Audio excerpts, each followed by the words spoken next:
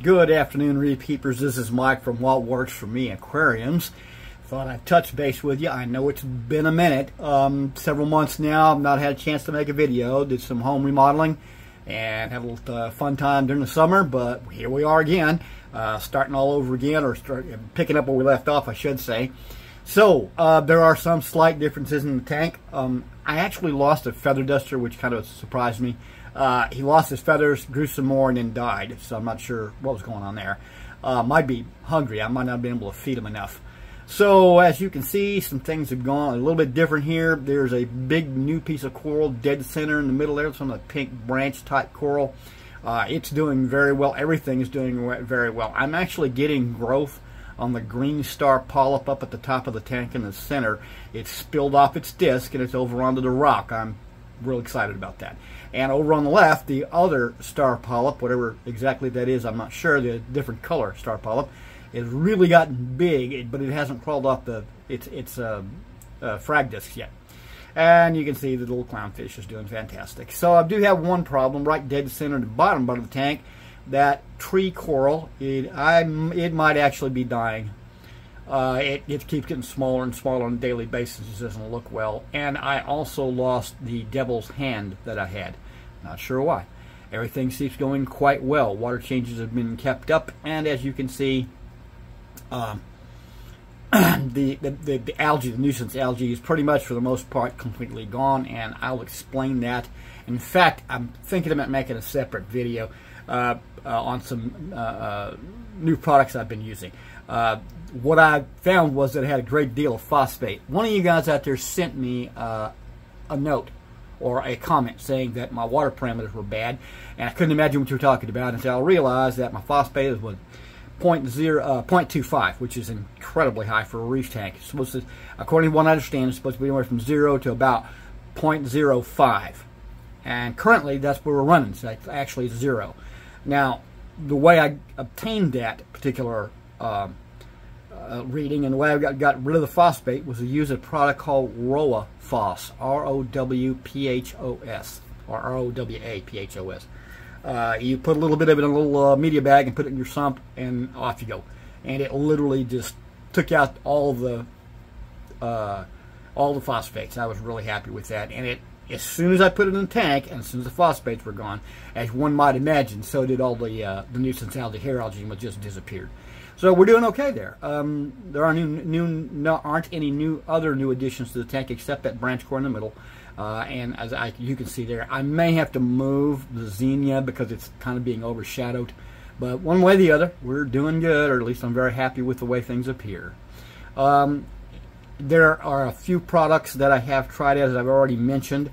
Um, Rowa Phos is going to be one of them. I bought a Hanna checker for my phosphates because API goes from 0 to 2 point, to, uh, 0.25, and there's nothing in the middle. Uh, so what I'm going to do, so I really don't know was it 2.25 or not, but it was too high. Um, the uh, checker will check it down to absolute zero. So I'm going to do a separate product video in just a minute because there were, are some other products I found too as well that uh, um, I've, I've, enjoyed using and, and I'm going to do a little little product video for y'all. So after you see this, make sure you stay tuned that I'll be having another video for you just on products.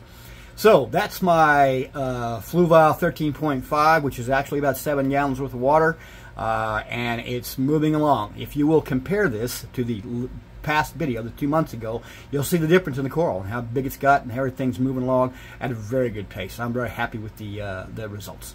Okay, so that's that. That's all for the 13.5. I'm going to direct your attention now to my 35 gallon tank, which is having a slight problem.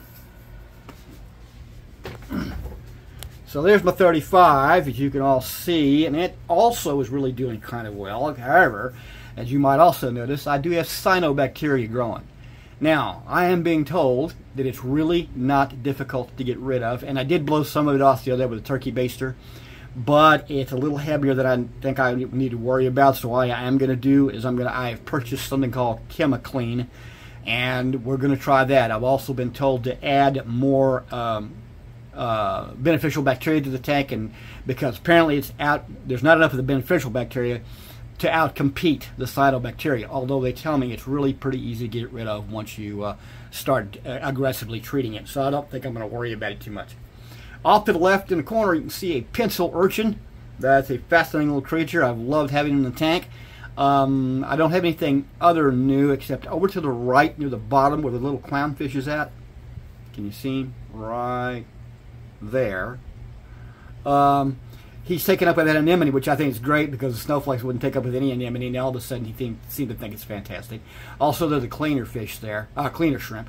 The uh, little anemone that's at the bottom of the tank is just not real happy for some reason. I'm having a hard time getting to find a spot.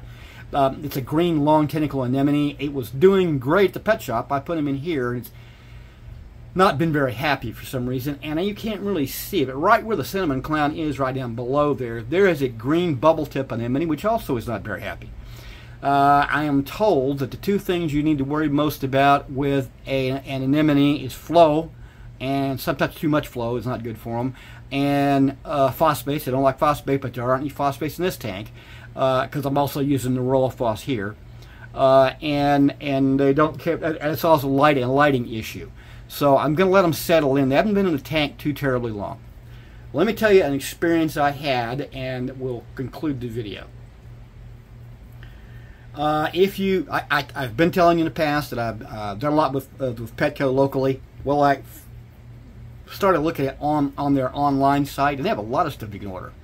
Uh, in fact, that's uh, uh, that's where the green the bubble tip anemone came from. When he gets happy, I'm sure he'll be fine, and you'll be able to see him better. Now, uh, you can order from them and they will send them to you and they're really very fast and they send a really they pack super well. You get this great styrofoam box inside a cardboard box and then it's packed with plastic bags and, and uh, uh, cooling devices or heating devices depending uh, and they really do a, a neat job. Uh, so they're, they're, it's, it's recommended. Uh, you, you could do that. I only had one problem that I could tell you about is that three of the items I ordered died okay so I ordered two pincushion anemones, I'm sorry, urchins, and they did not survive on two days. And then I had a um, uh, blue um, Linckia starfish, I remember the name, blue, blue Linckia starfish, and he didn't survive at all. He laid on that rock right where the cinnamon clown is right now and just simply fell apart. So I'm not sure whether it was poor quality on the part of Petco, whether it was my inability to properly uh, uh, uh, acclimate them or whatever. I'm told that Linckia stars are real difficult.